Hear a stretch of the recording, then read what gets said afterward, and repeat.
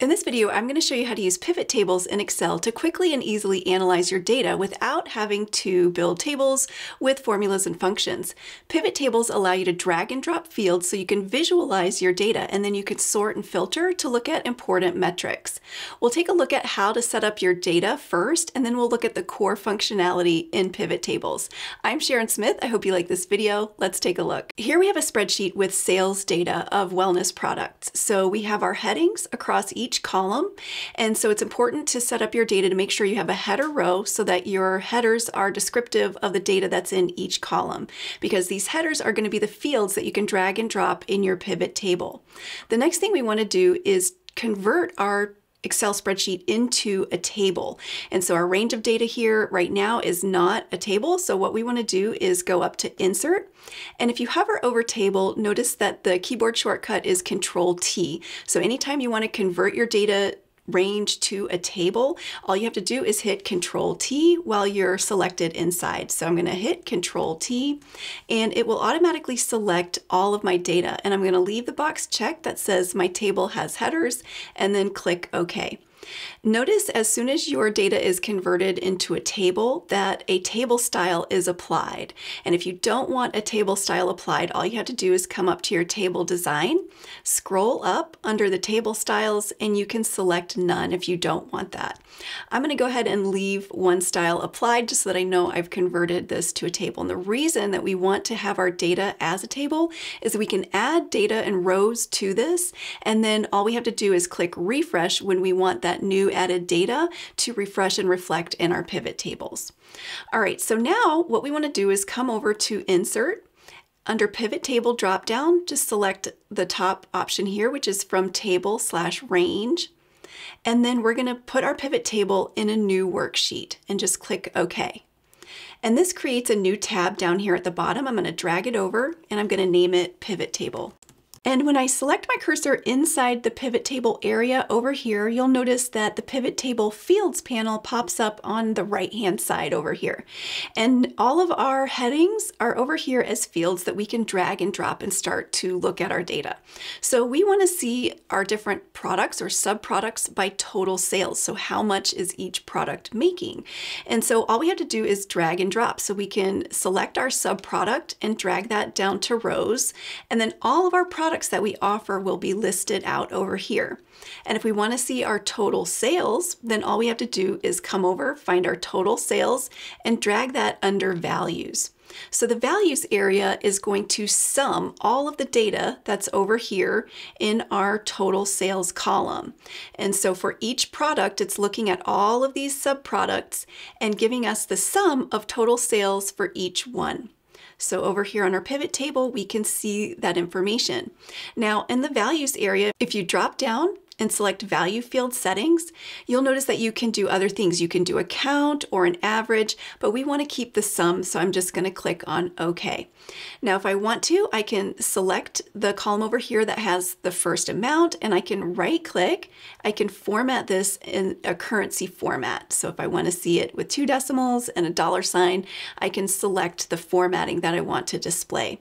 So now I can start looking at my data and seeing some seeing it in a different way where I can summarize this. And now what I can do is I can actually right click and if I want to sort by say largest to smallest, I can see my top selling products over here.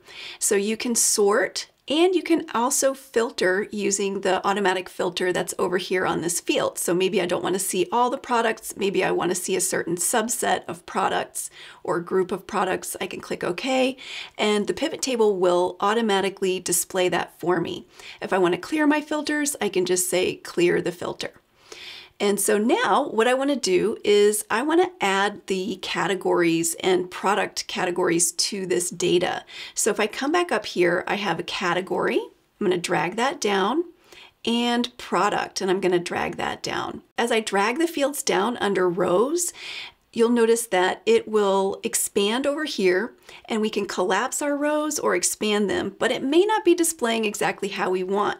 So one thing we can do is we can drag our top level category to the top. So all I have to do is drag this up and then I can drag the product up And then this is going to display in more of a way that I want to see the summarized data. So if I want to see the summarized sales for fitness gear as a category, then I can do that. Another thing that we can do is we can actually bring over and move these over into columns. So for example, if we want to move category into column, then we have our categories across the top here, and then we have all of our products and subproducts listed down the side. So there's different ways that you can visualize your data here.